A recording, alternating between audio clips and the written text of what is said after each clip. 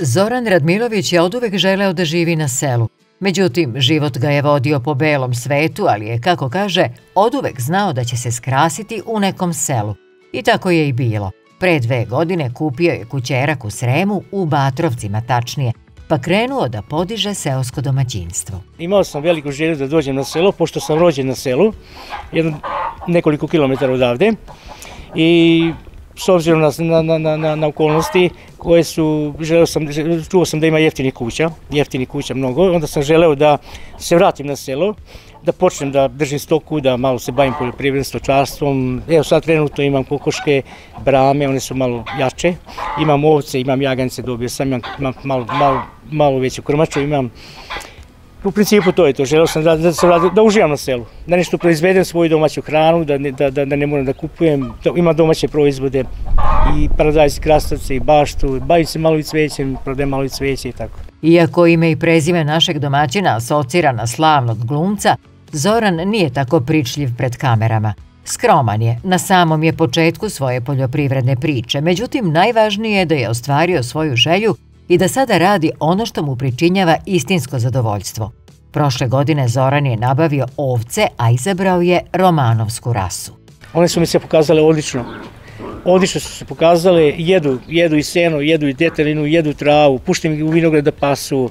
I ovaj, one, one, one u principu jagnje i po tri jagnjeta što je jako interesantno. Znači postigli ste, imali ste trojke? I imao sam trojke i to više trojke sam imao, da, i jako su zahvalne te ovce. Nije mi, apsolutno opredelio sam se za pravu ovcu. Sada ih ima desetak, međutim proširivaće stado.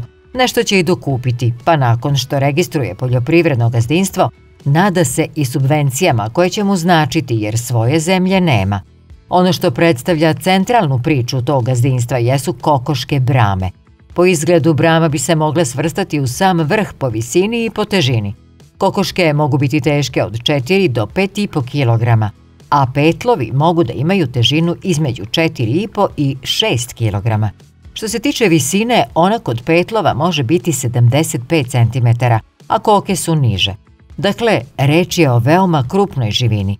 Brama godišnje snese oko stotinu jaja, a Zoran kaže da sa plasmanom nema problema iz Nemačke su uvežene brame, one su ovaj, jako, jako kvalitetne i one su, one su, one, one veoma dobro nose jaja i nisu konzumne jaja u principu, nego se, nego se legu, legu se dalje pilići, stavljaju se jaja u inkubator i to to ljudi koji poznaju, oni, oni se bave s tim. Oni to kupuju, otkupuju i tako da ja uglavnom stavim za Bosnu. Ovde malo slavije kod nas, da budem iskren, ali u Sremu i u Vojvodini, ali u Bosni više se traži. Ona uopšte nije zahtevna. Ja ništa ne kupujem hranu u poljoprivrednim apotekama, jednostavno ovaj, one su u dvorištu, bacim malo kukuruza, prirodna hrana, kao što vidite, one se kreću po dvorištu. Čak plasiram jaja u Bosnu od kokoške brame, plasiram jaja u Bosnu. Neka cena oko 140-150 dinara, zavisi, zavisi, zavisi u, koje vreme, u kom se periodu šalje. Tako da se malo to isplati, da budem iskren.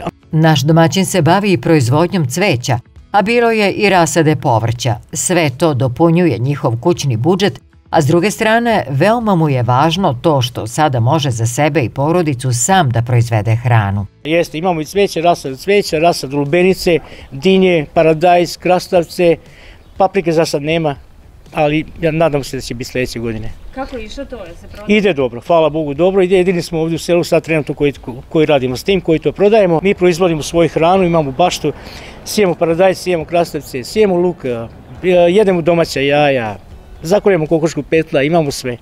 Okrenemo jagnju na ražnju, svoje, svoje proizvode, svoja hrana, nema, nema, nema ništa što nije prirodno. Planovi našeg domaćina su da se proizvodnja u svim segmentima proširi, ali ne žuri. Ide korak po korak, pa kako bude, kaže Zoran.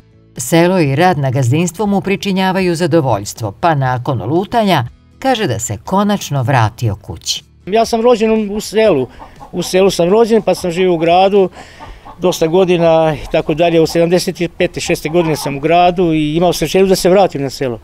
Zaista, i ta mi se želja ispunila. Želeo sam da pijem kafu u šljiviku sa mojim ovcama.